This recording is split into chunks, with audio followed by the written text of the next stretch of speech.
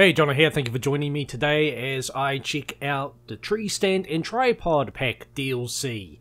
Uh, it comes with tripod stands and tree stands.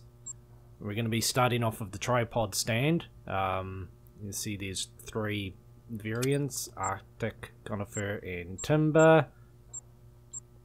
I don't know which one I've got equipped. I, I mean, I, I've got all of them, but I don't know which one I'll be using. And same with the tree stand. Now, I've never used the tree stands before, but I used the tripod quite a bit, especially here in Parque Fernando, where I had to hunt a diamond of every animal. So, um, I'm definitely quite familiar with it. So, we're going to be just looking at a lot of the, like, benefits to it.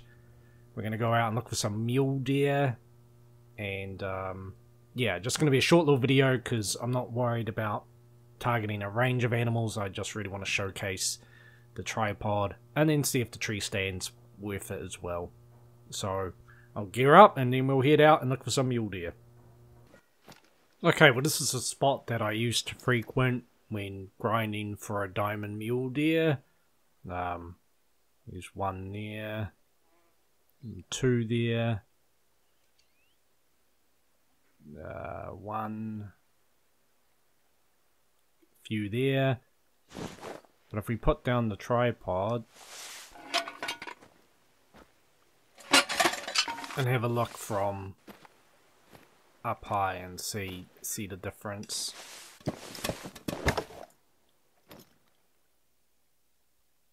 So there's actually three here.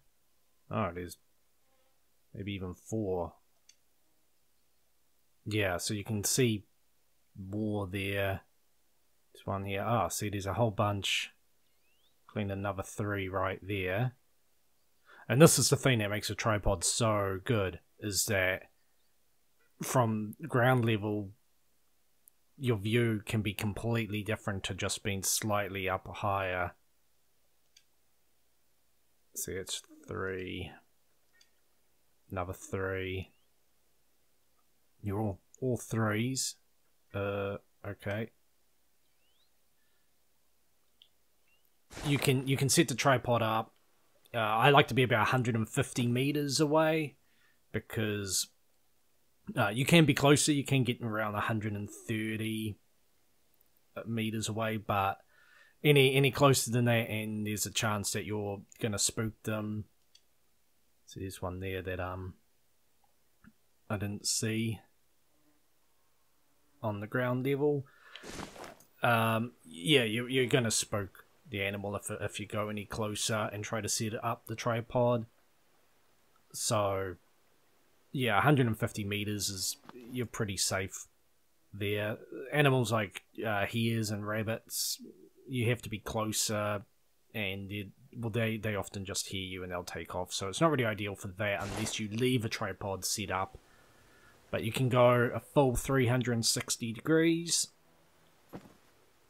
You can rotate the stand much like a tent before placing it. So it doesn't matter too much if, you know, you've got the steps on this side. You're not stuck looking just here. You can look everywhere. Um, let's go for you.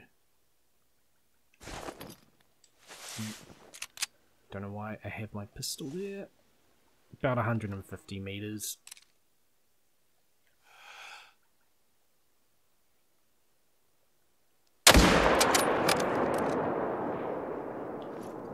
Down. And then you can just collect and move on. Obviously you can leave the tripod standing you just have to remember where it is to to go back and retrieve it. Okay. So nice right into the heart. Double lung. 154 meters away. Real, real good shot. Just a silver, but still, that's a nice heart shot right there. And the other thing, the other advantage to hunting from the, the um, the tripod is your hunting pressure. So that's the hunting pressure from the mule deer we've just harvested. Um, and if you compare it to this hunting pressure from something that was shot at um, ground level, you can see the difference between the two. And obviously, uh, the the lower the hunting pressure, the quicker it will go away, and the less likely you are to uh, delete need zones and things like that. So it's it's great for if you're going around hunting at various spots. You know, if you're grinding for a diamond and, and you've got several spots that you're just going from, uh, it's great for getting rid of the hunting pressure quicker. So that often by the time you've done a full circuit of whatever lakes or whatever need zones you frequent, basically can just start again. You don't have to worry so much about it building up like crazy. And here's just some footage um, I wanted to show demonstrating how close animals can get to you when you're on the tripod. Um, it will depend as well as which way the wind's blowing. They will eventually spot you, but as you can see, you know, within 20 meters distance, this black buck is walking by like I'm not even there. Um, I don't really rely on getting this up and close but it is something if you were like, oh, I want to do some bow hunting or something, but, you know, what I was saying earlier about 150 meters away, that won't work. So, no, not not at all. Like, if you plant yourself in a need zone, I'd spooked all these ones off by downing a couple first, but as you can see, they're all walking right back up. And only now starting to to get concerned because they can smell me so that is also one of the advantages of this. You can get up and close. And they're taking off now. The other point I wanted to highlight was in maps with Buffalo, the tripod can literally save your life. Um, here I'm looking for red deer, but you can hear the buffalo coming at me, so I just quickly plant my tripod, and now they can't hurt me they won't give up and go away, so you still have to deal with them, whether you decide to try and pick them off from the tripod, or whether you time it and just get down and get out of there. But at least now I can continue looking for red deer, and um, I don't I don't really have to worry about being massacred by this buffalo, or having to make a lot of noise shooting it and scaring off what I'm actually here for. So there is that advantage in places like Africa, anywhere where um, there are buffalo, because I mean bison will eventually leave you alone, but buffalo, once you're locked onto you like this, they will not go away. So something to bear in mind as well, that planting the tripod might scare off what you're after, sure, but at least you won't die. So that's another thing I like about the tripod. Okay, so we've got some red deer up ahead. Uh, we're trying out the tree stand now. I've never used it before. I am not sure if the same rule applies regarding the noise. So I don't really want to be much closer than this. So I can see a couple males, maybe three, but I'm going to try for a tree.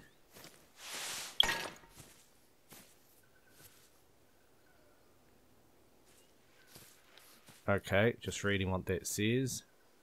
And this is what I was worried about too, like... That needs to be a specific type of, of tree. I can understand to some extent I don't know how tall the tree has to be. I don't know how straight it has to be. I don't know how much branches ignore the tree. I don't know if the thickness of the tree is a problem.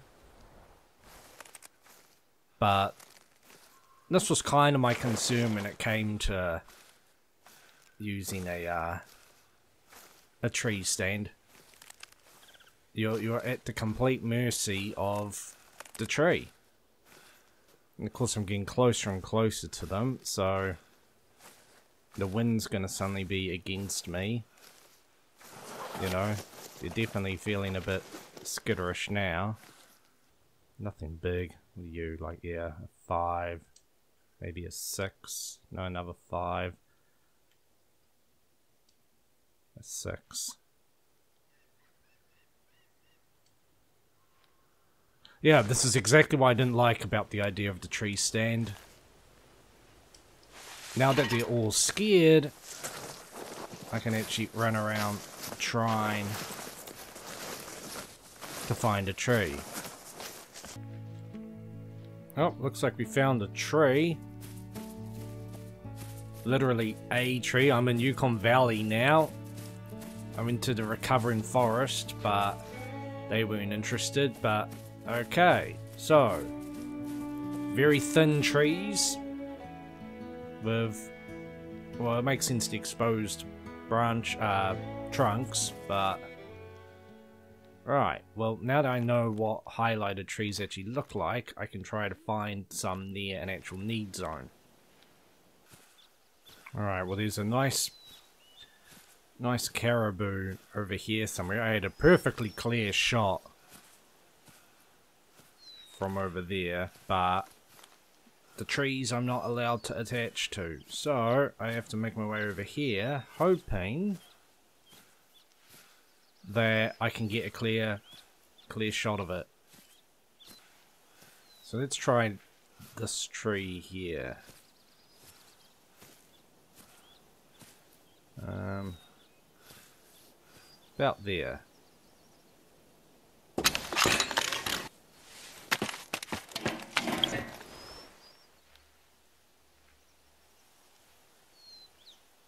Yeah, so this hunting pressure and decreased visibility, that's kind of what I assumed. Problem is, where oh where is my Caribou if I haven't just spooked it off?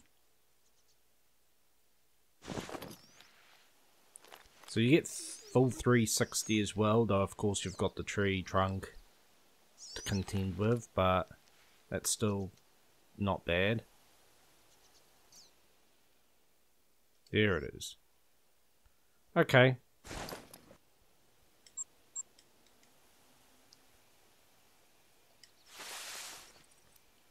It's not the ideal distance away.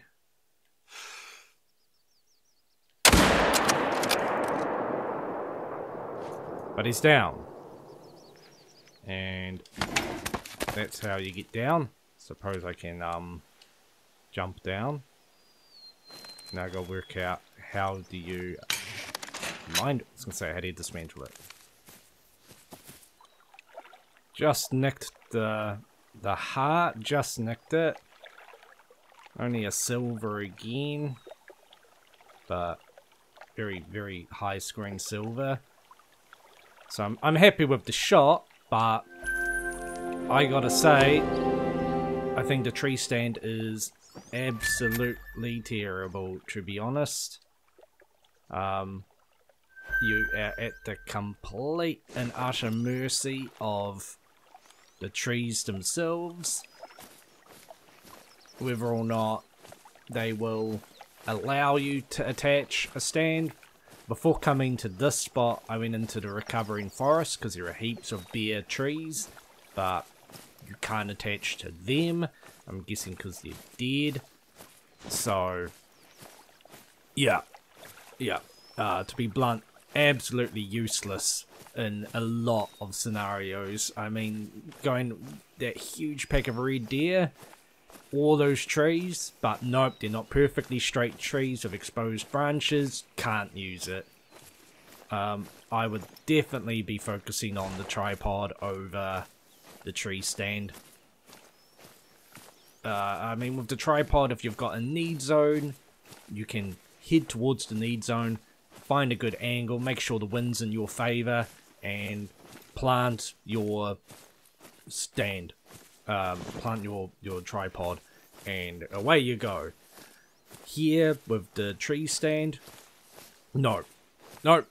You gotta just hope there's good trees near your need zone or near where you want to hunt, and that the animal will be in a spot where you get a clear shot. I was lucky there with the caribou. It could have been right behind the bush, and I couldn't have done anything about it. I'd have to just get down, try another tree. So, definitely never going to bother with the tree stand again. And if you like it, that's cool, that's fine. Um, for me personally, though, I, I am never going to bother trying to, to fiddle around with that when I could just use a tripod. They both have uh, a weight of 6, which is the only real downside to them is that's a big chunk of your carry weight taken up.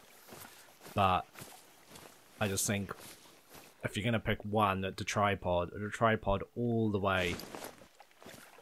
Um, yeah, you can't set the tripod up everywhere. I mean, if something's too steep or there's too much bush or something, it's no good. There are some lakes that I've tried using it at, or at the water's edge, and I just can't because the there's just thick bush everywhere, and you can't it won't allow you to set up the tripod. But that's fine because, you know, you can move around a little bit more or whatever.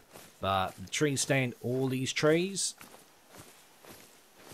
useless. I'd say. All these trees, you can't, you can't interact with it. It's a tree stand for very specific trees.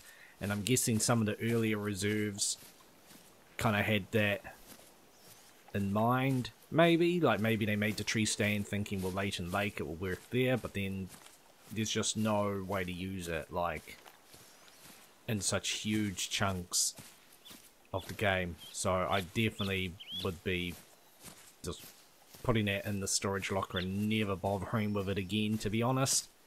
Um, I'm tripod all the way. But that was it. That was it for this DLC. Uh, like I said, the tripod definitely worth it for that, especially diamond hunting and that. It gives you a clearer view, uh, smaller hunting pressure, lower hunting pressure.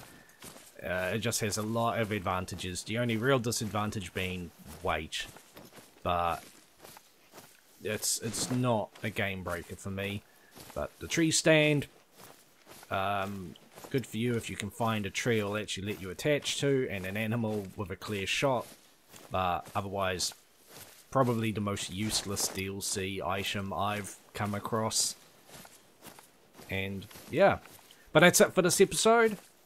Next time we're going to be looking at some of the Smoking Barrels DLC. Got a few guns to check out there. Um, and, and we'll just see how they go. At least I should be able to use them. So until then, thank you very much for watching, and take it easy.